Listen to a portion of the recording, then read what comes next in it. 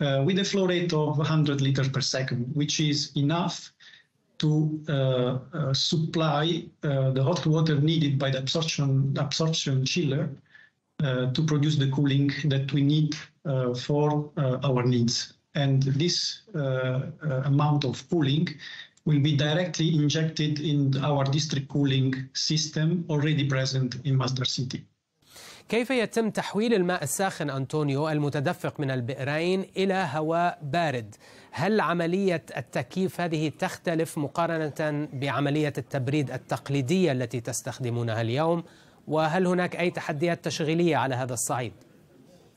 Okay, we start from this last question. Uh, what, how we generate cooling in our district cooling system? Basically, we rely on uh, the energy mix that we have on our electricity grid to supply electricity on uh, centrifugal chillers that are uh, thermal machines that are producing cooling through compression of a fluid. Uh, the same way our refrigerator works basically at home. Uh, now, what we are doing here, we are using another technology, which uh, is absorption, which doesn't need electricity to run.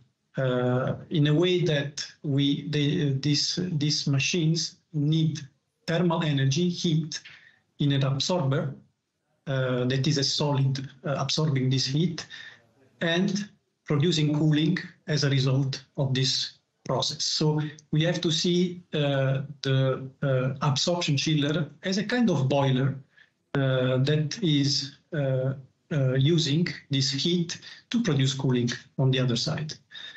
And the challenge with uh, these machines uh, are relatively uh, lower than uh, operating normal normal chillers because they don't require a lot of maintenance. They are uh, environmental friendly and uh, their efficiency when we have at disposal this kind of renewable energy is quite better than the traditional cooling systems.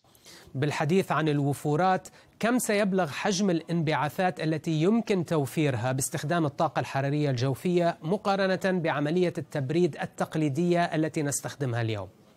The efficiency wise, performance wise, these machines uh, are uh, better than conventional systems. And if we compare with uh, our current technologies used in district cooling, which is already 50% up to 50% more efficient than conventional cooling system, adding up the uh, system that we are using in this project, we can achieve further 20 to 30 percent uh, higher efficiency uh, in the process, which means 20 to 30 percent further uh, emission savings in terms of CO2.